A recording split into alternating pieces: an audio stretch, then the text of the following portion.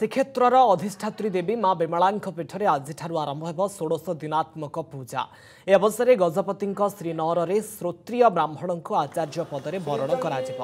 ଏ ଉତ୍ସବ ଉପଲକ୍ଷେ ରାଜଗୁରୁ ଦେଉଳ ପୁରୋହିତ ଓ ଅନ୍ୟାନ୍ୟ ପଣ୍ଡିତମାନଙ୍କୁ ଗଜପତି ମହାରାଜାଙ୍କ ସ୍ତ୍ରୀୟସ୍ତ ଛୁଆଁ ଗୁଆ ନଡ଼ିଆ ଓ ବସ୍ତ୍ର ପ୍ରଦାନ କରି ପୂଜା ପାଇଁ ବରଣ କରିବେ। ଗଜପତିଙ୍କ ପ୍ରତିନିଧି ଭାବେ ରାଜଗୁରୁ ଏହି ଗୁଆ ନଡ଼ିଆ ବ୍ରାହ୍ମଣମାନଙ୍କୁ ଦେଇ ବରଣ କରିବେ।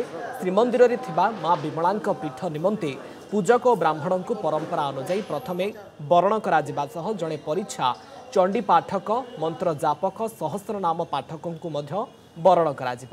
ଏଥିସହ ଶ୍ରୀମନ୍ଦିର ଭିତରେ ବେଢ଼ା ପରିସରରେ ମା ଭୁବନେଶ୍ୱରୀ ମା ବାଟମଙ୍ଗଳା ଓ ମା ଉତ୍ତରାୟଣୀ ପୀଠ ଲାଗି ପୂଜକ ଏବଂ ଚଣ୍ଡୀ ପାଠକ ବରଣ ହେବେ।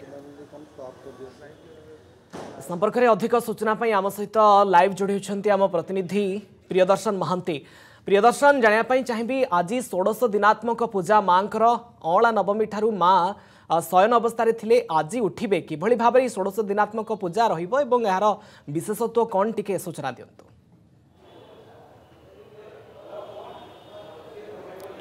ନିଶ୍ଚିନ୍ତ ଦେଖନ୍ତୁ ରଶ୍ମି ଶ୍ରୀକ୍ଷେତ୍ରର ରାଜେଶ୍ୱରୀ ହେଉଛନ୍ତି ମା ବିମଳା ଏବଂ ଯଦି ଶ୍ରୀ ଜଗନ୍ନାଥ ଭୈରବ ହୁଅନ୍ତି ମା ବିମଳା ହେଉଛନ୍ତି ଭୈରବୀ। ତେଣୁ ଆଜିଠାରୁ ମୂଳାଷ୍ଟମୀର ଦିନଠାରୁ ଆଜିଠାରୁ ସହସ୍ରା କୁମ୍ଭାଭିଷେକ ଏବଂ ମାଙ୍କର ଯେଉଁ ଷୋଡ଼ଶ ଦିନାତ୍ମକ ପୂଜା ଆରମ୍ଭ ହେବ ଇଏ ପୁରା ଆଶ୍ୱିନ ଶୁକ୍ଳ ନବମୀ ପର୍ଯ୍ୟନ୍ତ ଏ ପୂଜା ଚାଲିବ।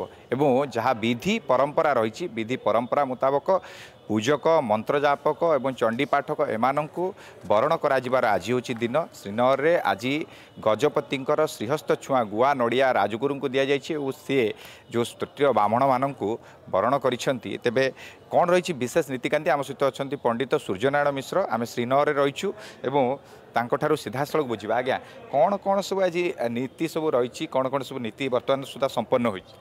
ହରି ଓମ୍ ଜୟ ଜଗନ୍ନାଥ ପଣ୍ଡିତ ସୂର୍ଯ୍ୟନାରାୟଣ ଦାସ। ଆଜି ପବିତ୍ର ଯେଉଁ ଷୋଡ଼ଶ ଦିନ ଆତ୍ମକ ପୂଜାର ପ୍ରାରମ୍ଭ ଦିବସ ଯେଉଁ ଦିବସ କି ଆଜି ଗଜପତି ମହାରାଜାଙ୍କ ଦ୍ୱାରା ବରଣ କାର୍ଯ୍ୟକ୍ରମ ଅନୁଷ୍ଠିତ ହୁଏ ଆମର ରାଜଗୁରୁଙ୍କୁ ଆଚାର୍ଯ୍ୟ ରୂପରେ ବରଣ କରି ରାଜଗୁରୁଙ୍କ ଦ୍ୱାରା ଆମର ପୀଠରେ ଯେତେ ଦେବାଦେବୀମାନେ ଅଛନ୍ତି ନବପୀଠ ଅଷ୍ଟପୀଠ ବାହାରେ ଭିତରେ ନବପୀଠ ଏମିତି ହେଇ ସବୁ ଦେବୀପୀଠରେ ଆଜି ଷୋଡ଼ଦିନାତ୍ମକ ପୂଜାର ପ୍ରାରମ୍ଭ କାର୍ଯ୍ୟକ୍ରମ ସହସ୍ରା କୁମ୍ଭାଭିଷେକ ଏଇ ଯେଉଁ ଆଜି ତତ୍ତ୍ୱ ଇଏ ହେଉଛି ଜଗତ କଲ୍ୟାଣ ପାଇଁ ଜଗତଜନନୀ ମା।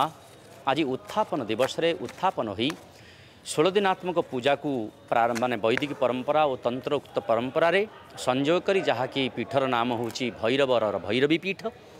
ଯେଉଁ ଭୈରବ ଭୈରବୀ ପୀଠରେ ଆଜି ଦୁର୍ଗା ମାଧବଙ୍କର ସଂଯୋଗ ପୀଠ।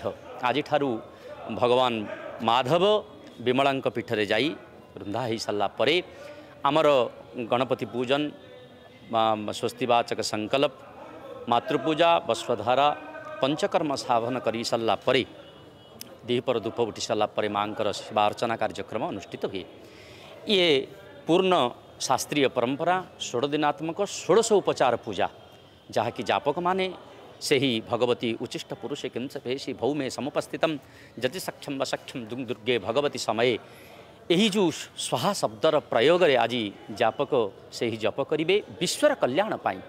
ଯେଉଁ ବିଶ୍ୱ ଜଗଧାତ୍ରୀ ଆଜି ପଦାର୍ପଣ ହୋଇଛନ୍ତି ଆଜି ଏହି ଭୂମଣ୍ଡଳରେ ଭୂପୃଷ୍ଠରେ।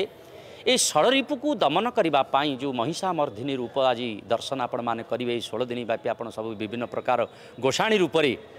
ଆଜି ସେଇ ଯେଉଁ ଷଡ଼ରିପୁକୁ ମନୁଷ୍ୟ ସମାଜ ହୃଦୟରୁ ନଷ୍ଟ ହେଉ ଜୀବ ପ୍ରତି ଜୀବ ହୃଦୟବାନ ହୁଅନ୍ତୁ मनुष्यंकर मनुष्य प्रति जो भाईचारार एक महान संदेश आज परिपूर्णता प्राप्त निश्चित दिनात्मक पूजा श्रीक्षेत्र अधिष्ठात्री देवी माँ विमला पीठ से आज षोडश दिनात्मक पूजा आज षोह दिन पर्यंत पूजा कार्य हो भव्य आयोजन श्रीनर एने विशेष प्रस्तुति रही बहुत बहुत धन्यवाद प्रियदर्शन दर्शन आपण समस्त सूचना जदि आपण को आम भिडी भल लगा तेब आम चेल्क लाइक सेयार और सब्सक्राइब करने को जमा भी बुलां नहीं।